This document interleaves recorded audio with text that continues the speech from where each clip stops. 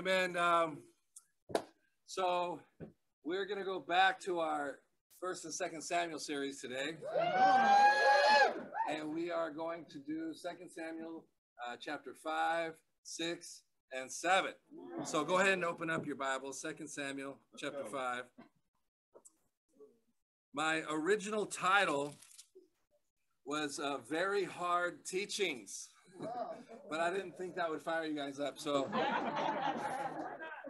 so instead, uh, I've entitled it "Victory in the Spirit." Victory in the Spirit. It is the year of the Spirit, is it not? I think this will encourage you, but uh, it will be a challenging lesson. So buckle yourselves in. Uh, in verse 3, it says, When all the elders of Israel had come to King David at Hebron, the king made a covenant with them at Hebron before the Lord, and they anointed David king over Israel. So prior to this, uh, David was king over Judah, and then all the elders came together and said, You know what? You've got it all now. And so now he becomes king over all of Israel, and they anoint him as king. And so, you know, the Bible says that David has a heart after God. And uh, he's such a great example of courage and righteousness and trusting in God. He wrote most of the Psalms, uh, just an amazing man of God. And uh, I know what you're thinking, well, he was anointed. Of course, he was awesome. But I want to remind you of something. So go ahead and keep your finger here and uh, turn over to Second Corinthians chapter 1. Second Corinthians chapter 1.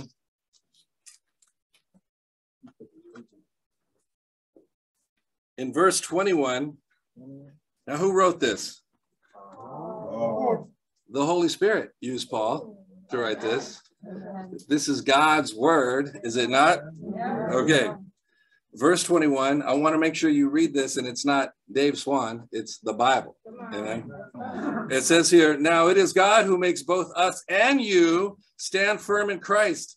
He anointed us, set his seal of ownership on us, and put his spirit in our hearts as a deposit guaranteeing what is to come. If you studied the Bible, became a disciple of Jesus, because that's the only one who's qualified to get baptized, amen? And so if you were baptized as a disciple of Jesus, all your sins were forgiven, then this happened. Mm-hmm. You were anointed by God, and He put His Holy Spirit in mm. you. And so you too can have victory in the Spirit. Let's go back to Second Samuel chapter 5. So let's learn from David here and let's try to have his heart through these hard teachings. Second Samuel chapter 5. We'll start in verse 6. It says the king and his men marched to Jerusalem to attack the Jebusites who lived there. The Jebusites said to David, "You will not get in here. Even the blind and the lame can ward you off." They thought, "David cannot get in here." And so what's he doing? Well, God put it on his heart to make Jerusalem Zion, to be the home base for where God and his ark and his temple will be built. And so he's got to go and defeat the Jebusites. And so when Joshua was given the promised land, they were supposed to ward off all the Jebusites, but they didn't get it done. And so David and his men are going to go and get that land. And the Jebusites are like, even our blind and lame will defeat your army. and so let's see what happens. Verse 7 Nevertheless, David captured the fortress of Zion, which is the city of David. It doesn't tell us how he did it, it just, he did it. He had victory. Yep, he got it done. In verse 9, it says, David then took up residence in the fortress and called it the city of David. He built up the area around it from the terrace inward, and he became more and more powerful because the Lord God Almighty was with him. He had victory after victory in the spirit. And so, you know, I was looking back at uh, the church over 2021. I just want to share some of my favorite victories. You ready? Yeah. Okay. So, uh, Linda was baptized in March. Uh, John Green was restored. Uh, Sharon Groman was added to the church. Thank you for coming home. Um, let's see. Uh, Rachel uh, was baptized. Joe and Sybil placed membership. Uh, James and Georgia got restored in July. Uh, Christian got baptized. Levi gets baptized in August. Zamir gets baptized in August. Ashton and Avery. Tyrese joins us. When was that? In August. Uh, Chris Neptune gets baptized in September. Yes, sir. Uh, gets baptized. That was in October. Uh, Jamaica gets restored in October. And Jamari gets baptized. We were planning on building a teen ministry, but God did that. And we have our teen ministry right here. He gave us two new cranking singles ministries. We now have two appointed shepherding couples. We have new dating couples, engagements, a wedding, a renewal of vows, uh, of vows, and uh, vows. Well, you need some vows. and of course, sweet Anael was born. God has given us victory after victory here in Syracuse.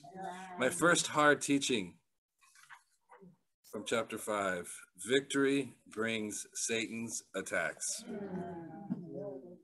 Let's read here in 2 Samuel, chapter 5, verse 17.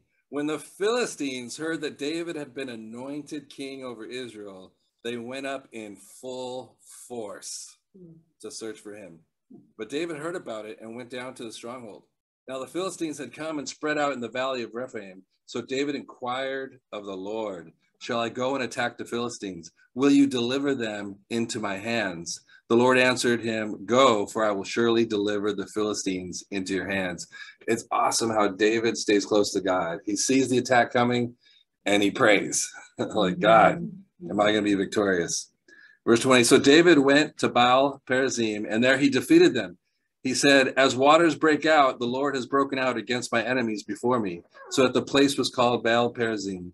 The Philistines abandoned their idols there, and David and his men carried them off. You know, we have victories, we get friends baptized, and then what happens is you start to get tempted. Uh, the world tempts you, uh, you start getting doubts. Maybe you fall into sin. You start to think, what am I doing here? Uh, you know, all these things start to come at you. And then you go to God, you're like, God, help me through this. And He gives you victory, helps you through those temptations, and He helps you to be victorious. But what happens? Well, Satan doesn't give up. Look at verse 22. Once more, the Philistines came up and spread out in the valley of Rephaim. So David inquired of the Lord, and he answered, Do not go straight up, but circle around behind them and attack them in front of the poplar trees. As soon as you hear the sound of marching in the tops of the poplar trees, move quickly, because that will mean the Lord has gone out in front of you to strike the Philistine army. So David did as the Lord commanded him, and he struck down the Philistines all the way from Gibeon to Gezer. There's only one reason Satan attacks you. You know what it is? I'm going to help you out. You ready? Yeah. To get you to stop sharing Jesus. That's that's the only reason he attacks you. So he comes at you. He gives you friends maybe that uh, aren't spiritual, and you start to hang out with them, uh, or he he tempts you. You sin. You don't get open about it, and so now you feel like a hypocrite talking about Jesus. Um, maybe one of your friends maybe the person that baptized you that invited you to church falls away and and you're like oh i can't share my faith this is what's going to happen they're, they're, they're going to get baptized and just fall away jesus has gotten in there maybe once twice not Jesus. Satan. Satan's attacked you, uh, and and he's he's hurt you, and so now you just don't share your faith anymore, hmm. and so he's victorious. He's now won the battle, and so when you're victorious, Satan is going to attack, hmm. and if you have not been sharing your faith, well, he's winning right now. But hmm. here, God gives the answer. He says, "Don't just get up and go," because this is what happens. You stop putting God first, and the Bible and prayer and sharing your faith is over here. And so you just get up and you go to work.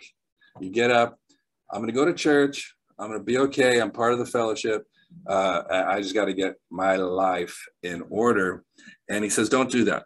He said, instead, go around back. uh, and look what happens. He says, it will mean the Lord has gone out in front of you. Mm-hmm. See, what happens is you forget to put God first and you go first. Mm-hmm. And then the mission and prayer and all those things stay in the back. And you're like, hey, I, I haven't fallen away. I'm still coming to church. Well, if if God, if Satan has got you to shut up, well, you have fallen away. Mm-hmm. Uh, and so you, you've got to understand, you got to get back, start praying, start considering who is God putting in front of you. Make sure that God goes out first so that you can be victorious again. Because victory brings Satan's attacks. And I know because I, I at the beginning of December, is like, I'm going to finish this year off stronger than ever. And, uh, uh, and what happens? Uh, I get COVID. I'm out like for two weeks. Like it just, it hit me really hard. I was like, my kids came to visit and they're out going to uh, basketball games and watching movies and i'm in bed sweating. I just felt horrible and i couldn't be with them but that's that's what happened. Satan attacked and uh, i just i couldn't i couldn't do anything. And uh, it really took me going down to the new york um, city winter workshop and getting filled, sitting there hearing one lesson after another. So uh, I hope you guys are fired up for the winter workshop next week. And so the challenge here is have your time with God before you go out to the world. Amen. Have your time with God before you go out in the world and let God lead you. Uh, amen. amen. Okay. Second hard teaching, chapter six. Hard, bro? Amen. Uh, okay, chapter six starts off with David wanting to bring the ark.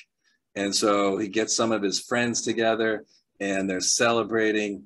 Uh, verse 5 says, David and all the Israelites were celebrating with all their might before the Lord with uh, uh, castanets, harps, lyres, timbrels, sistrums, and cymbals. Verse 6 When they came to the thresh, threshing floor of Nacon, Uzzah reached out and took hold of the ark of God because the oxen stumbled. The Lord's anger burned against Uzzah because of his irreverent act. Therefore, God struck him down, and he died there beside the ark of God. Then David was angry because the Lord's wrath had broken out against Uzzah, and to this day that place is called Perez Uzzah. David was afraid of the Lord that day and said, How can the ark of the Lord ever come to me? He was not willing to take the ark of the Lord to be with him in the city of David. And so he gets some of his friends. He's going to get the ark. He's going to bring it to Zion. And so, uh, if you don't know what the ark is, the ark uh, is uh, made with the the wings of angels, the cherubim, uh, as a cover. And God actually spoke from the middle of the wings. And inside the ark, you had uh, the commandments from Moses. You had uh, Aaron's staff that budded. The, represents the fruitfulness of Jesus. Uh, and you had the, the manna, and Jesus says, I am the manna, right? So he is the word, he is the staff, the leadership, the fruitfulness, uh, and uh, he is the, the word of life, the bread of life. And so the ark is uh, what you want in your life. And in the New Testament, we all represent that. How we live our lives represents Jesus. The things that we say, the things that we do, our fruitfulness, our lack of fruitfulness, say who we are and what we do. And here he's moving the ark, and it says here irreverent act. In most translations, it's his um, lack of understanding. Uh, you know how you get pulled over and the cops come and they said, "Did you know that you can't do this?" And you're like, "No, I didn't know that." Well, it doesn't matter. You're still going to get that ticket, right? and so ignorance is really what the issue was. He was ignorant of how to move the ark, and uh, and so God's like struck him down. First, David's angry, but then in verse nine it says he was afraid. And so, what happened? What happened from the time that he was angry to the time that he was afraid? Well, I believe the answer is found in Chronicles. Look over in First Chronicles chapter 15. It's the same story, but uh, you'll see a different perspective here.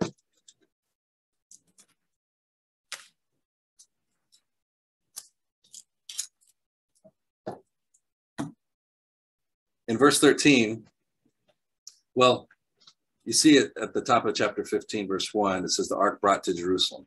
So this is the account of his second time. So he does it again three months later, and he's successful at bringing it.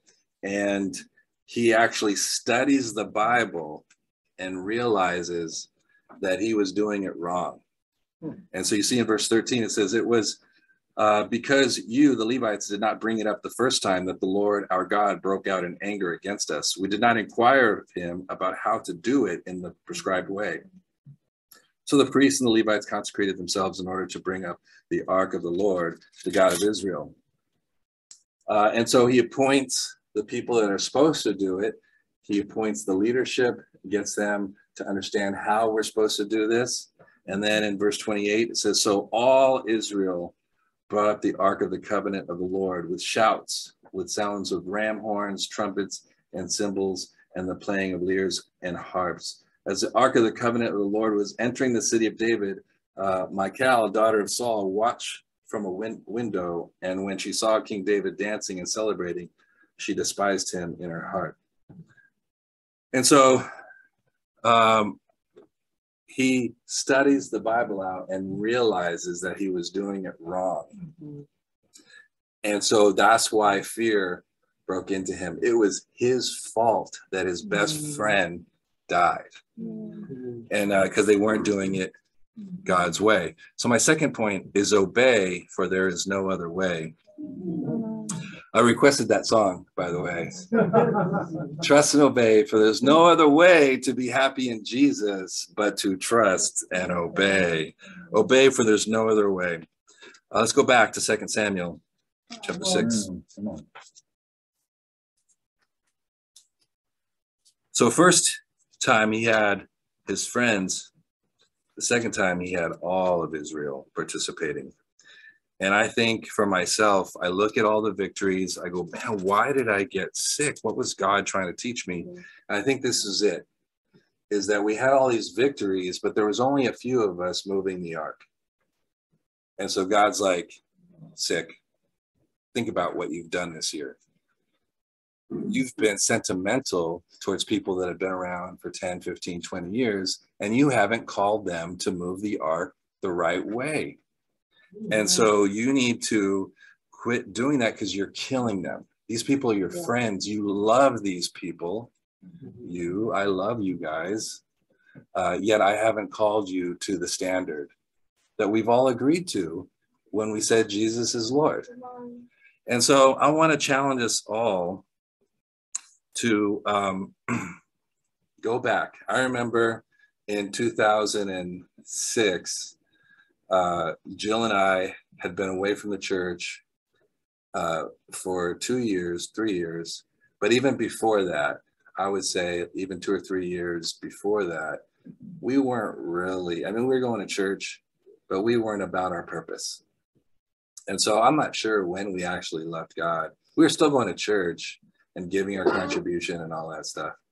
Um, but we weren't behaving like disciples we were having children, we were building our business, uh, but we weren't about like being a disciple wasn't number one. you know what I'm saying? No. And uh, and so I remember being at dinner and we had a friend over. Uh, I had actually baptized him like seven years before, and we were just catching up our relationship, and we were talking about God and stuff. I looked over on the bookshelf, and there was a First Principles book. and I hadn't seen it, you know, actually opened it in I don't know years. and so I opened it up and I'm like, okay, I'm gonna do discipleship with me. And so I did discipleship with myself. And I was like, Am I a fisher of men? No. Oh my goodness. Do I deny myself every day and carry my cross? No. I was like, oh my gosh, Jill. You know, Jill was making spaghetti in the kitchen. I'm like, Jill, I'm not a disciple. I'm not saved. She's like, stop it. We're all disciples here. she was in denial. but I was looking at the scripture like, oh my gosh, I'm in trouble. I, I, need to make a change. And because I did that, I reached out to some real disciples who got into our lives, restored us, mm-hmm. and got us back on track. Mm-hmm. And so, what I'd like you to do this week before the uh, the winter workshop, open it up, look at yourself, count the mm-hmm. cost with yourself. Are you seeking God with all your heart? Is the word your standard? Are you a fisher of men? Are you seeking first the kingdom of God? Are you confessing your sins and allowing the blood of Jesus to forgive you of all your sins? Count the cost with yourself. Are you willing to go anywhere, do anything, give up everything uh, to love God with all your hearts, mind, and soul? Amen? Hard teachings. Second Samuel chapter 6. Verse 14, wearing a linen ephod, David was dancing before the Lord with all his might while he and all Israel were bringing up the ark of the Lord with shouts, the sounds of trumpets. Man, sometimes I just close my eyes. I go, what, what must he have been doing? You know, just dancing. right. You know, when Jill and I, we go dancing, we do uh, just, I don't know what you call it, but I learned this from my cousin. You just put two thumbs out like this and then you make circles pointing at yourself. And so we just kind of do this. that's our dancing. But that's not all your might. You know what I'm saying? Like he was dancing all his might, just fired up. A couple of teens came up to me this morning. They were challenged to encourage three people today, and two of them decided to pick me. And after after the first one, after the first one, yeah, so comes up for the second one. He's like, I'm gonna encourage you. I started dancing. I was so fired up. and He's gonna encourage me. So and he used the scripture, and I was super encouraged. But David, he was so happy the ark is coming to Zion.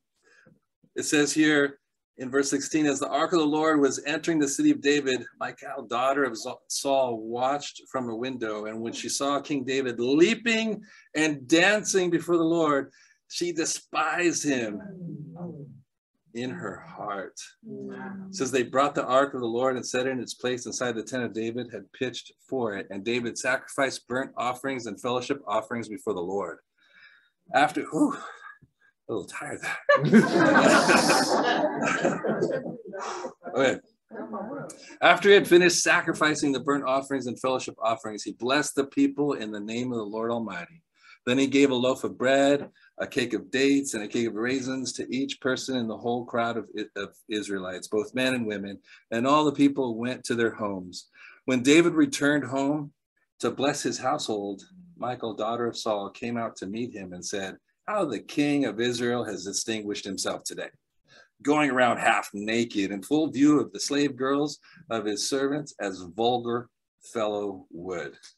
David said to Michal, it was before the Lord who chose me rather than your father or anyone from his house when he appointed me ruler over the Lord's people of Israel. I will celebrate before the Lord.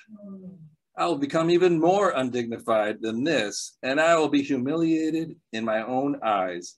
But by these slave girls you spoke of, I will be held in honor. And Michal, daughter of Saul, had no children to the day of her death. So I mean, let's just be real. That just means they didn't have any sex. The love was gone. Like she disrespected uh, David, and David was ticked off at her disrespect. And uh, what did she have in her heart? Well, she had bitterness in her heart. My third point is bitterness destroys true love. Remember what he did for her. I mean, she was his true love. Uh, he he like sacrificed his life killing Philistines to get her.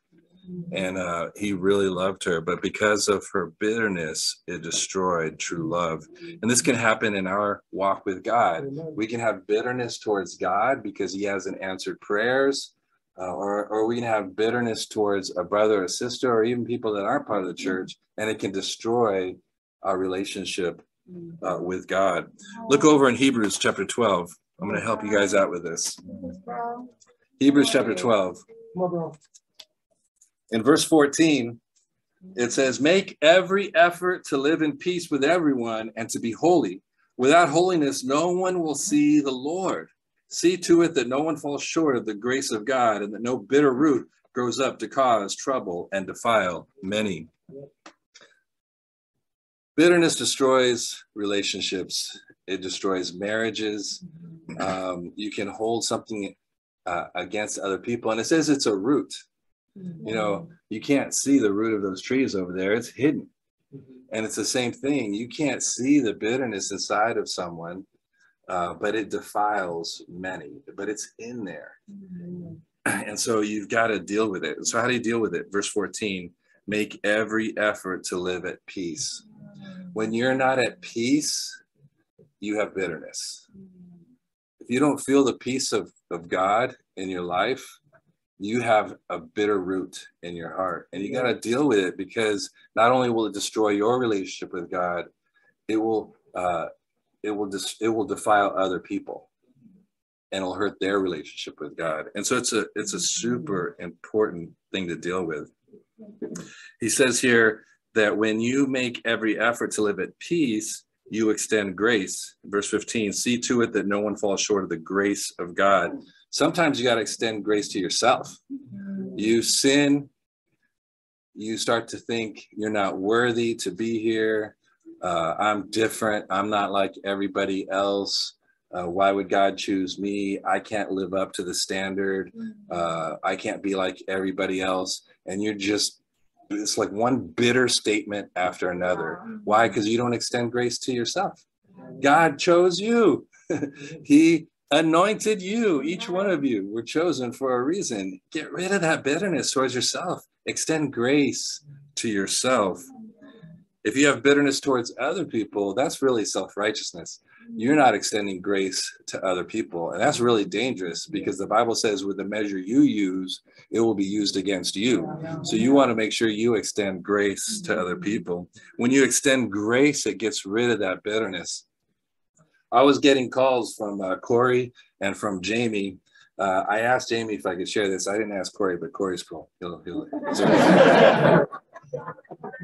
and so they were roommates for a year. And so I'm, I'm hearing that they're going to get together and duke it out. I was like, oh, uh, they got issues with each other. And, uh, and, but they were both seeking input. And I said, okay, this is what the issue is. you got to make peace. How do, well, how do I do that? Well, deal, take responsibility for your own stuff and don't worry about him. Share, I'm sorry for X, Y, and Z and I want to change this here. I want to be different. And so they both did it. They both took my advice. Uh, I wasn't there, but I asked all the brothers that were there how to go. And they were like, man, it went great. And uh, I talked to Jamie. They said uh, it, it was awesome. And so for each of you, you got to desire peace in your life. It doesn't matter how the other person responds. Mm-hmm. Sometimes you have issues with people that are not sold out disciples of oh, Jesus. Mm-hmm. And you've got that. And you just got to make peace. Don't worry about them. You've got to apologize to them, take ownership. If they don't apologize back, that's on them and God. Mm-hmm. But you got to be right with God. And the only way you can do that is to get rid of anything that's keeping you from being at peace. Mm-hmm. Bitterness destroys true love. Okay, one last chapter, chapter seven, Second Samuel. Come on.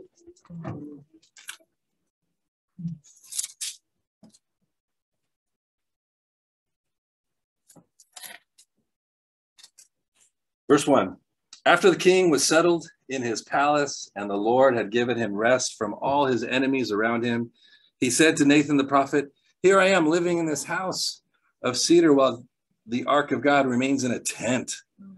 Nathan replied to the king, Whatever you have in mind, go ahead and do it, for the Lord is with you. So David has a dream, right? You know, it's it's amazing how when we go through a series, it always relates to what we're going through. This is a new year. We have New Year's resolutions, we have dreams, we have goals of what we want to do. And here David has this goal. I want to build a house for God. He has this amazing dream, right? It sounds good. It sounds righteous. It sounds noble. In verse 4, it says, But that night the word of the Lord came to Nathan. And so God tells the prophet, Go and tell Dave, that's not my plan. And, uh, and sometimes that happens to us. We have this amazing plan and uh, we write it down and we pray about it. And we're going to do that here next week, right? We're all going to make prayer goals and we're going to pray for each other. And we might have the most noble, awesome prayer. And God's like, nope, I got something different for you. Uh, look what happens um, in chapter 7, verse 11, halfway down in B. It says, The Lord declares to you that the Lord Himself will establish a house for you. So He's going to do it Himself.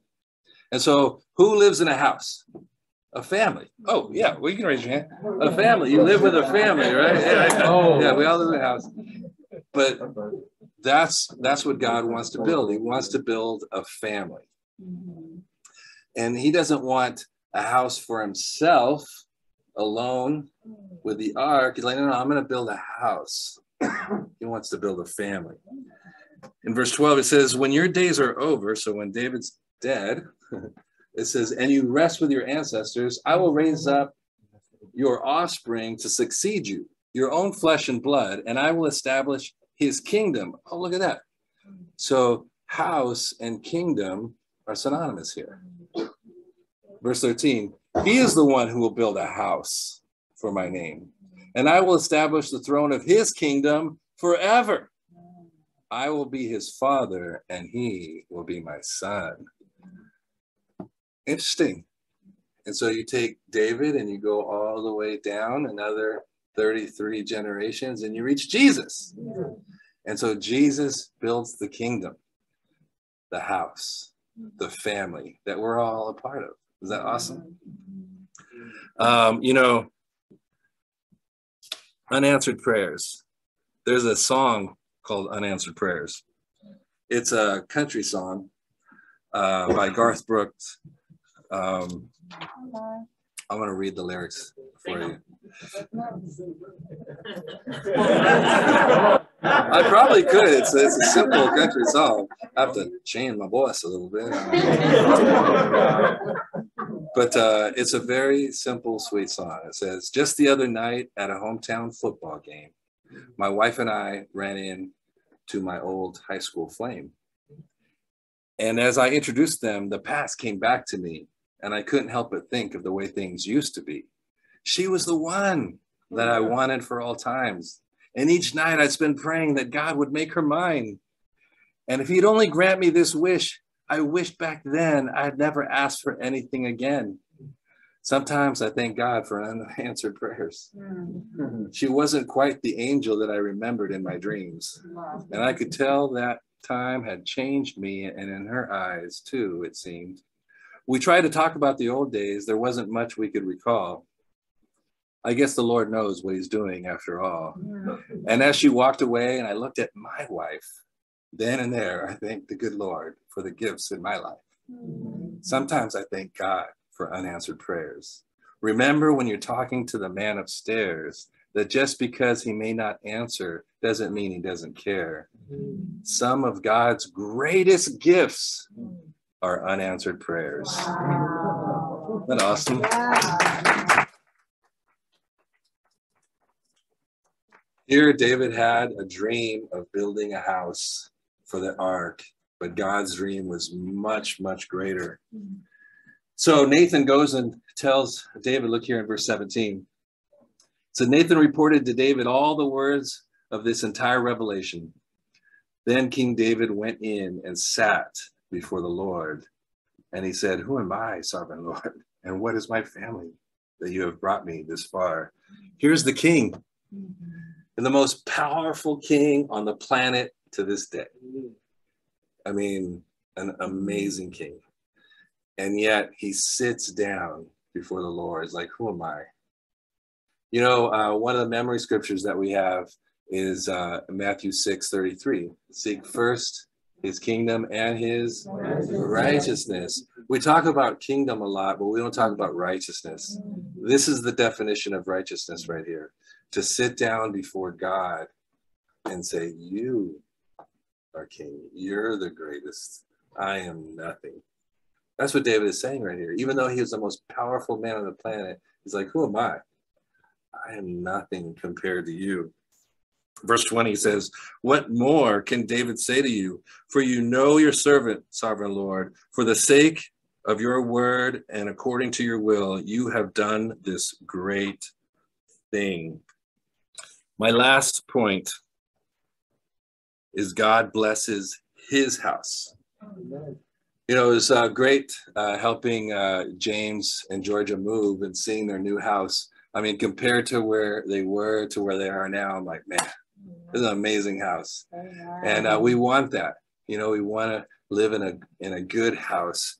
But here, uh, David says, "It's not my will, but according to your will." And so, God wants us to build His house. He blesses His house.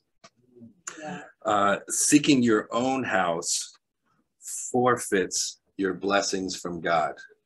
Uh, look at uh, verse 29, how he ends this prayer. He says, Now be pleased to bless the house of your servant, that it may continue forever in your sight. For you, sovereign Lord, have spoken, and with your blessing, the house of your servant will be blessed forever. See, God blesses his house. He wants that to be the priority in your life to seek first his kingdom and his righteousness. You know, I got a call from uh, an acquaintance. Um, I studied the Bible with him once in New Jersey, like four years ago. And I hadn't heard from him since. Uh, but he asked me what I was doing in Syracuse. And I said, uh, I was helping build the church. And so he texted me back and he was like, um, So did you are you building it from scratch? You have land, you know, what's the deal? And uh, and so you know, I I, I didn't want to text back. I just called him, and I was like, no, no, no. And I shared with him that the church is not a building; it's it's the people, it's it's the disciples, uh, and uh, it was awesome because we we reconnected, and uh, so he's going to be studying the Bible. Uh, his name is Devron. Pray, pray for him. I got him touch with Luke and uh, Mike O'Donnell down there. And uh, yeah, I mean, he's he's in a position where uh, he's ready. He, he, wasn't ready four years ago, but uh, he, he's ready now. But see, that's got to be our heart: is to seek first His kingdom and and His righteousness, and He will give you victory.